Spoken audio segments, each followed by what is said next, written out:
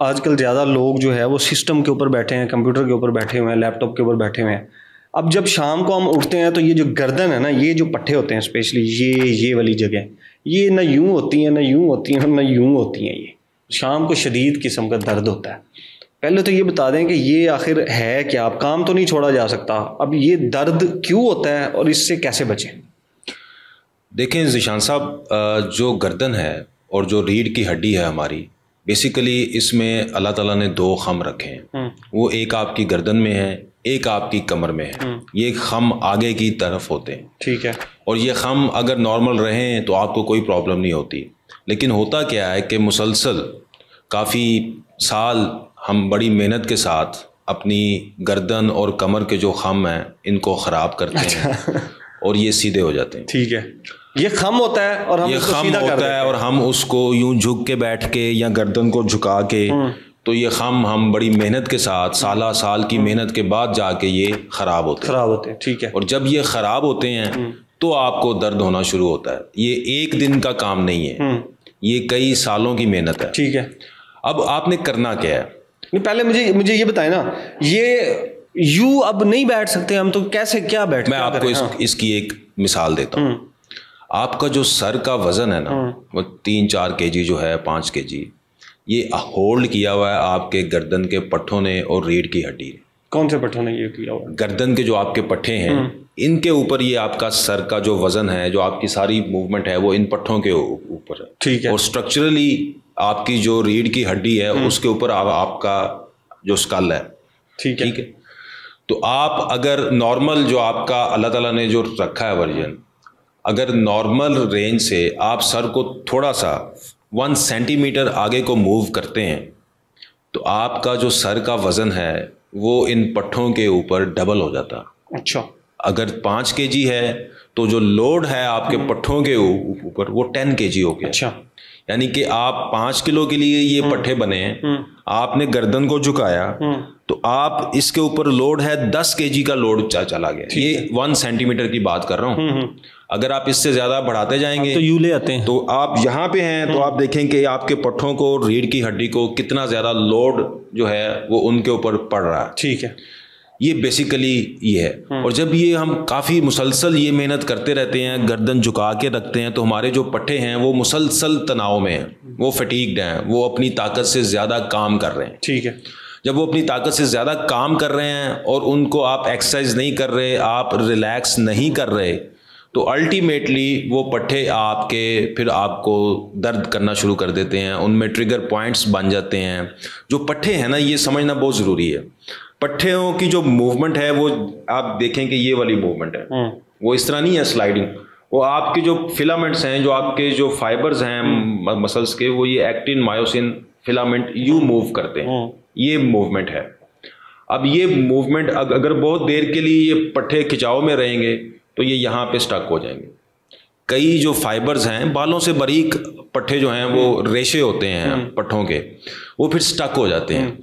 जब वो स्टक होते हैं तो फिर आप हल्की सी भी फटीक्ड हो आप थोड़ी सी भी काम कर लें तो आपकी गर्दन आपका सर इवन हम्म। आपको चक्कर आना शुरू हो जाते हैं कानों से आवाज़ें आना शुरू हो जाती हैं। हम्म, हम्म, और फिर आहिस्ता आहिस्ता ये दर्द जो है ये आपके बाजू में जाना शुरू हो जाती है। तो ये सारा शुरू होता है आपके बैड पॉस्चर से। ठीक है।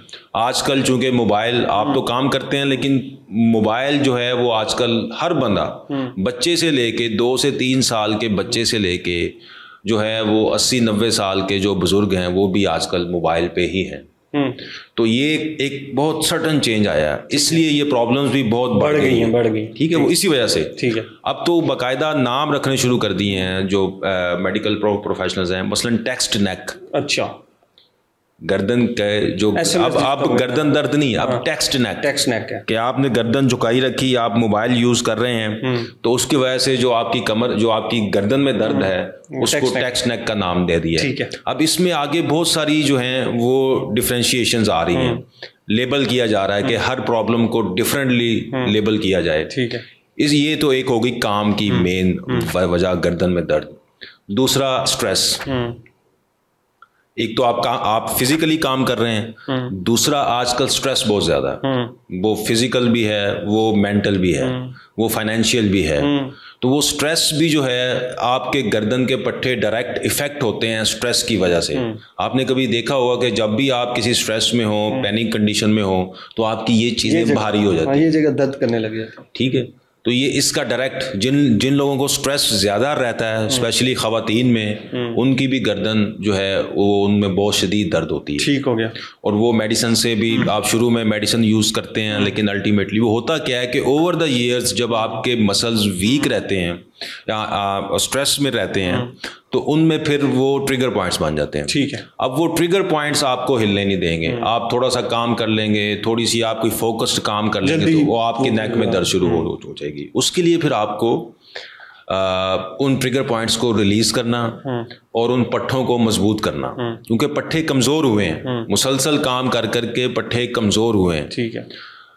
एक्सरसाइज और फटीग इसमें बहुत फ़र्क है। ठीक है। ये आपको समझ समझना चाहिए। हम समझते हैं कि हम काम करते हैं तो शायद हम एक्टिव हैं। नहीं। आपने अगर एक्सरसाइज नहीं की तो आपके पट्टे कमज़ोर हो रहे हैं फटीक की वजह से। ठीक है। जो आप सारा दिन काम कर रहे हैं जो आप फिर रहे हैं जो आप ऑफ़ ऑफ़िस जा रहे हैं इस इससे आपके जो मसल्स हैं वो फटीक में जा रहे हैं। वो एक्सरसाइज नहीं है।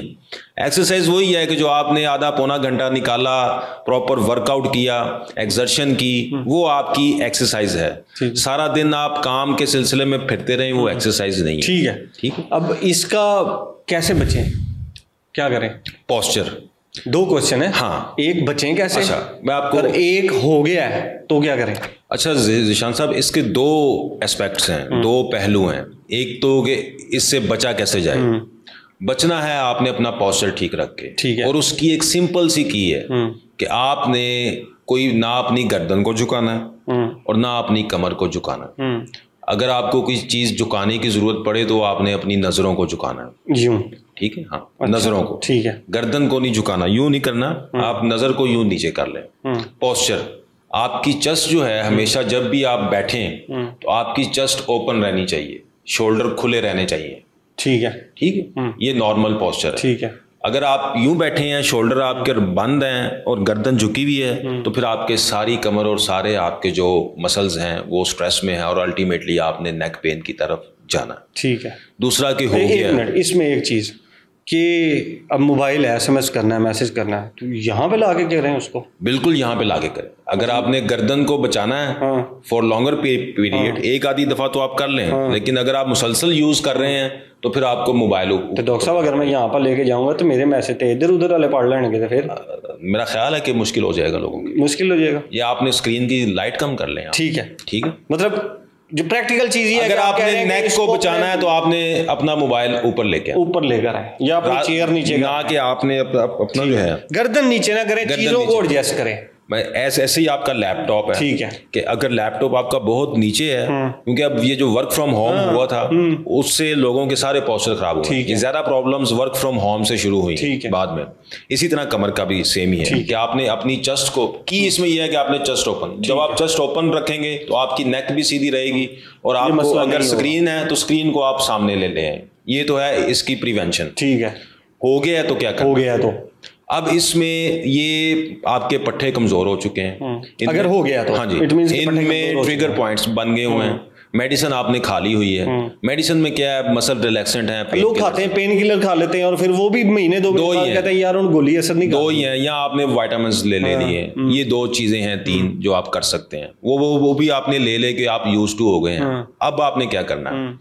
अब इसका हल है कि आपने रिहेबिलिटेशन फिजियोथेरेपी में जाना। ठीक है। आपने वो ट्रिगर पॉइंट्स रिलीज़ करने हैं। आपने किसी ऐसे बंदे के पास जाना है जिसको पता हो कि यार इसकी कॉज क्या है। हम्म। और उस कॉज को आपने एड्रेस करना है और मसल्स की री एजुकेशन करनी है। मसल्स को दोबारा स्ट्रेंथन करना है कि ये आपको अब बार बार ना हो। एक तो है कि आपने पेन से जान छुड़ानी है। वो तो आप मेडिसिन और छोटी सी चीज़ से भी आप छुड़ा सकते हैं। लेकिन आपने इस बीमारी से जान छुड़ानी है इस दर्द से जान छुड़ानी है तो वो फिर आपको अपने मसल्स को दोबारा स्ट्रेंथन करना पड़ेगा थ्रू एक्सरसाइज कोई एक्सरसाइज बता दें हमारी ऑडियंस को? अच्छा उसमें ये है कि आपने सबसे पहले जो वो आपके जो मसल्स जो स्ट्रक हुए हुए हैं उनको खोलना है। ठीक है। वो आप यहाँ तो हम हाथ से खोलते थे हम्म। अब हम उसको नीडलिंग से खोलते हैं। ठीक है। क्योंकि टाइम नहीं है ना लोगों के पास हाँ। बहुत ज़्यादा आप नहीं जा जा, जा सकते। तो हम एक दफ़ा उसको खोल के थ्रू ड्राई नीडलिंग। या जिसको आप आपको पंक्चर कह लें इसी तरह का एक प्रोसीजर है। फिर हम उसको एक्सरसाइजेस कराते हैं। हम्म। गर्दन की डिफ़िकल्ट जैसे आप हाथ यहाँ पे रख के। इसको आप यूँ पीछे दब, आप दबा सकते हैं। गर्दन को पीछे दबाएँ। हाँ जी गर्दन को आपने सर को यूँ आपके ये वाले मसल्स इस्तेमाल हो। ठीक है। आप हाथ सामने रख के। आपके ये वाले मसल्स फ्रंट वाले ये इस्तेमाल या सामने रख के यूँ ज़ोर लगाएँ आगे सामने हाँ सामने लेकिन हाथ को मत हिलने दें। हाथ हाथ को मत हिलने दें। आपके ये वाले पट्टे ये वाले पट्टे इस्तेमाल होंगे। ठीक है। फिर ये आप ठीक है। हम्म। है यहाँ पे हाथ र- रख के तो आप इसको साइड पे फिर इस, इसी तरह हम्म। दूसरी साइड पे। लेकिन ये एक दफ़ा आप इवेलुएट लाजमी कराएँगे। अगर आपके वो ट्रिगर पॉइंट रिलीज़ नहीं होते हम्म। तो फिर एक्सरसाइज से दर्द बढ़ सकती है। वो कम शायद ना हो। तो मतलब पहले ट्रिगर पॉइंट रिलीज़ करवाने के बाद एक दफ़ा, उसके बाद ये एक्सरसाइजेज अगर डेली बेस पे कर लें तो फिर जिन लोगों को गर्दन में दर्द का प्रॉब्लम रहता है, यहाँ तक ये सारों का, वो उनको दोबारा नहीं होगा। आपने रिहेबिलिटेशन में जाना है रादर देन कि आप कहें जी मेरी दर्द से जान छुड़ाएँ। ठीक है। आप रिहेबिलिटेशन में जाएँगे मसल्स आपके स्ट्रांग होंगे तो आप दोबारा आपको वो प्रॉब्लम नहीं हो सकती। ये नहीं है कि आपने सारी ज़िंदगी इस पेन के साथ जाना ठीक हो गया। Thank you so much doctor thank you